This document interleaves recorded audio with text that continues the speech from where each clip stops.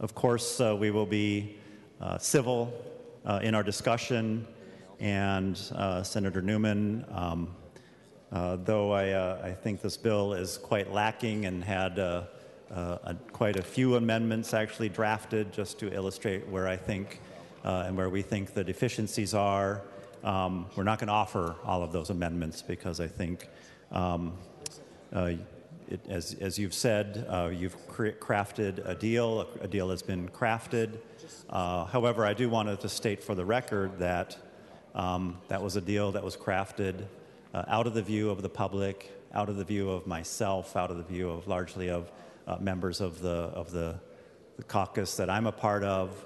Um, it was not subject to uh, conference committee process or hearings or input uh, and the like. And um, I don't think that that is uh, a good way to develop policy. I know there are arguments that oh well we had you know something similar uh, in the regular session. Um, but uh, Senator Newman and members and Madam President, uh, the fact is, is that here we are with the final bill. And uh, I know it's been posted for a few days, um, but you know the word goes down from on high. This is the bill, and it can have no amendments. Um, and I'm sorry, uh, members, this is a representative democracy. Uh, we each we each represent uh, in excess of 80,000. Plus, we carry in our hearts uh, a passion for the good of the entire state and, and good, uh, a passion for uh, sound public policy. And um, barring input and barring listening to the ideas of people who maybe aren't uh, in agreement with you, um, some, of, some, some of the ideas that find their way into what is going to ultimately become law um, may well not be the best. To that point, uh, Senator Newman, um, I want to respond to this uh, argument, this framing on the use of the general fund.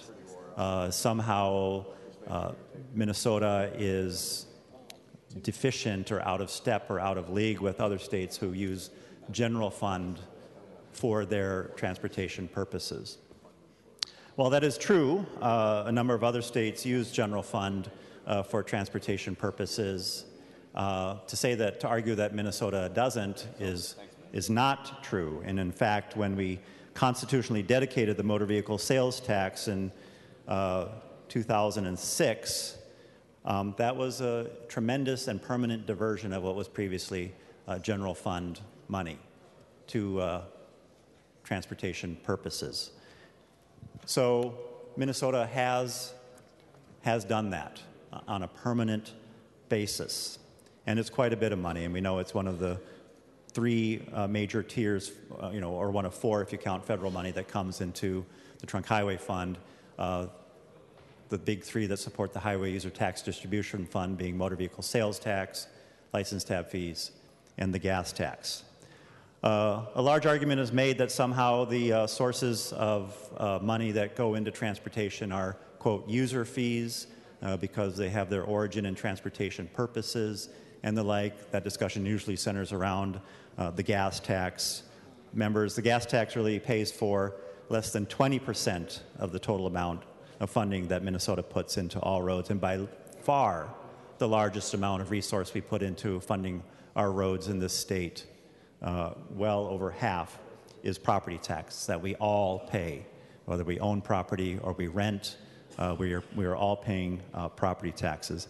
And members, uh, I, for the life of me, can't understand why uh, we don't talk about uh, the gas tax or license tab fees and some of, the, some of these other dedicated sources as, uh, as, a, as a means of relieving property taxes because the, the little bit that we are putting in in this bill, Senator Newman, um, is still going to leave a tremendous amount of pressure because we get almost nothing uh, to local jurisdictions uh, who report having in excess, both cities and counties each, in excess of a $400 million gap just to keep up with what we need uh, and to be economically competitive in the deterioration of their roadway system, which represents over 90% of all the roadway miles we have in our state.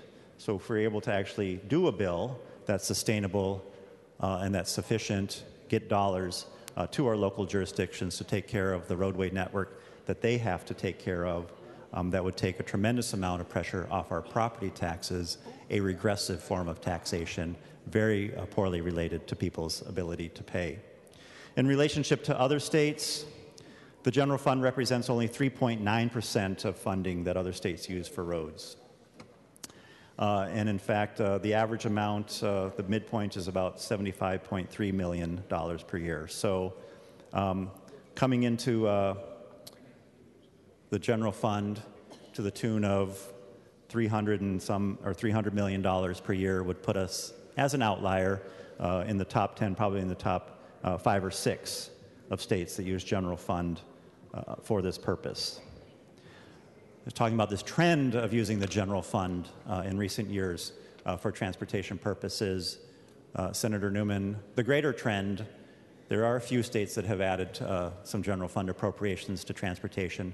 The greater trend, by far, is the permanent, dedicated, reliable, sustained source of the gas tax. Most other states look to the gas tax the way we do as a constitutionally dedicated source. And in 2005, starting in 2005 up to 2014, 17 states raised their gas taxes. Nine did so uh, in 2015. And I'll just add the vast majority of those were controlled uh, by the other party. The party not, the party opposite, as a colleague of mine used to say. Five so far have done so in 2017. Um, I don't know what is so dramatically and vastly different than, than our state is uh, when talking about um, this particular source. Um, Senator Newman, uh, when our state has dedicated general fund to transportation purposes by appropriation, relying on future legislatures uh, to continue uh, to, to do so.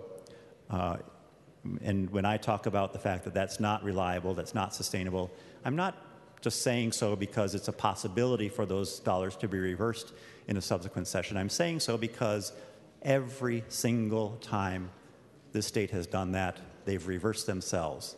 They've committed to a long term devotion of general fund dollars, and within a year, sometimes two years, they've backed that out and reversed that commitment. So, Senator Newman, this entire uh, package of budget bills that we're creating uh, for the state of Minnesota um, is destined to become a permanent uh, structural deficit package that we're putting together with these tax breaks and the tax bills that are going to balloon and start to consume all of our available resources, the kind of hits that we're uh, taking uh, in, the, in the Health and Human Services bill. Um, also going to exacerbate, we're not dealing with our future liabilities.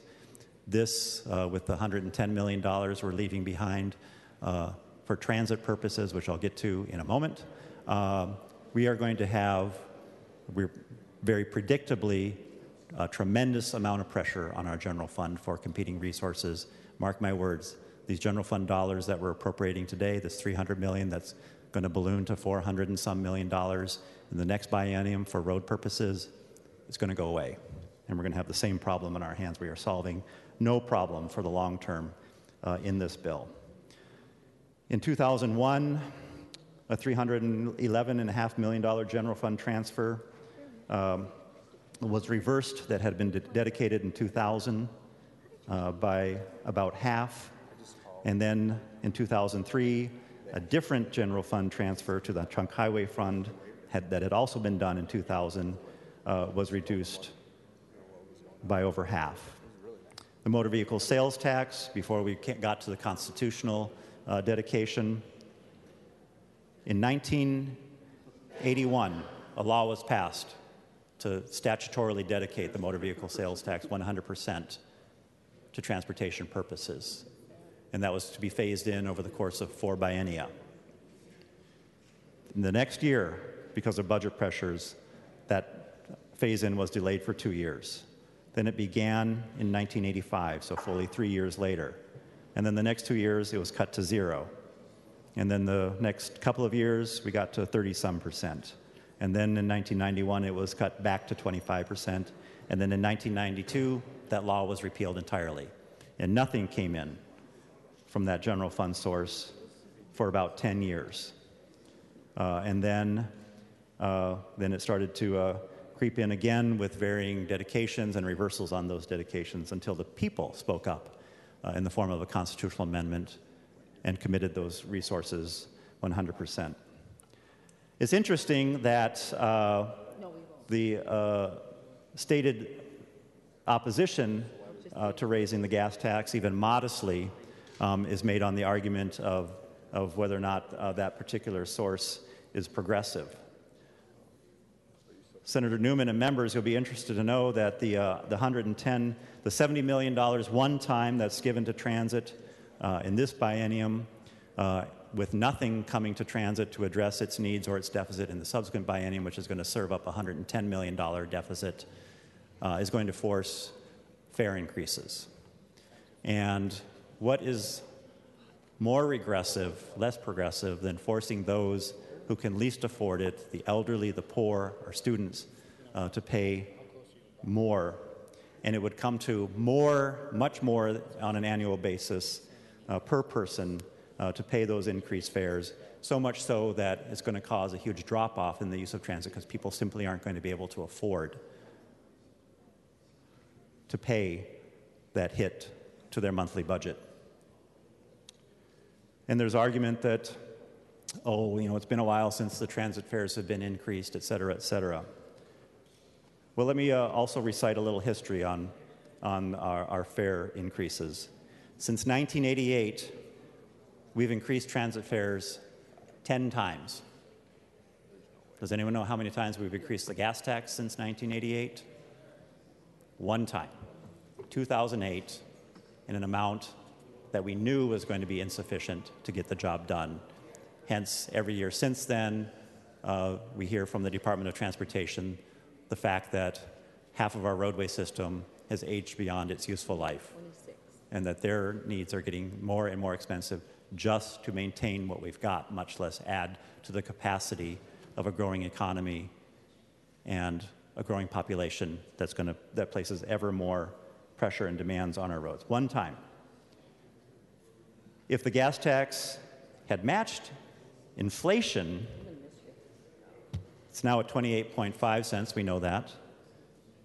If it had been allowed just to grow with inflation and had the same buying power then as it does as it would today, it would be 40.1 cents. If it was allowed to grow at the same rate that we've asked of transit riders, it would be at 58.3 cents.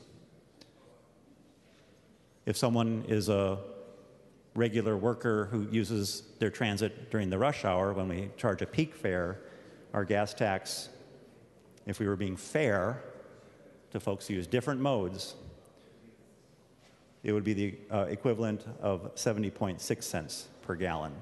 So it is really hard to swallow all of the scorn that's heaped upon uh, transit riders uh, and not paying uh, their fair share when, in fact, uh, they've borne the brunt of the deficiencies that we've delivered uh, to the transitway budgets year in and year out, and we've done nothing of the like uh, for in, in the highway user tax distribution fund or the, or the sources that we dedicate to local roads for the pressure that they receive. Transit, uh, just uh, against the CPI over the past 10 years, has outstripped it by more than two times. But, members, um, that's all just a, a conversation about uh, the facts, the history, the numbers, the, the statistics. This is really all about people and their lives and their ability to get to the things that they need to get to. Uh, there's a young person by the name of Raven who works as an intern in Senator Hayden's office who uses transit every day Raven says, I use transit every day from Fridley to downtown St. Paul because I go to school at Fair High School, to MCTC in downtown Minneapolis, uh, where Raven does PSEO, post secondary educational opportunities, and to the state capitol because I have an intern with State Senator Jeff Hayden. That's how I get back and forth. That's how I got that opportunity because I know how to get myself around the city. I'm only 17. So I'm the youngest one they had ever entered there. And they were concerned how to get back and forth because I can't drive. I like being in the city. I like the hustle and bustle of everything. I like seeing people. I like seeing culture. And the transportation system lets me do that. If the fare is too high, I can't get around because my parents can't afford that. And I can't. And they won't let me work because they want me to focus on my education. I need this stuff so I can be famous and rich when I get older. The words of a 17 year old. Leslie, I'm getting some assistance from the state of Minnesota. They paid for me to get vocational rehabilitation, and they are funding vocational training for me to go through Goodwill Easter Seals. The only way that I get to these meetings and to job interviews is through Metro Transit. Being able to have access to the bus and light rail is how I get to these really important appointments, which are helping me get employed again. I need to be able to get there 30 minutes early to meet their strict attendance policy. One missed class, and they kick you out. But the transportation system worked perfectly to get me there on time. Leslie Ann spends so much time on the bus commuting between Minneapolis and the suburbs, she had to leave a well paying job. When you miss the bus, you have to wait for an hour. It affects how you live, how you eat, how you shop, how you sleep. You don't get to rest when you get home at 9 p.m. and have to wake up at 5 a.m. You don't have time to do anything else but get up and go to work. Ombre is a contractor who drives to jobs in the southwest suburbs and bikes and takes public transit for other trips. If there are fare hikes, she says she is fortunate enough now that it'll have little to no effect on her transit use, but this was not always the case. She was transit dependent for two years because her car broke down and couldn't afford the repairs. Two part time teaching jobs, barely making ends meet, taking seven buses each way.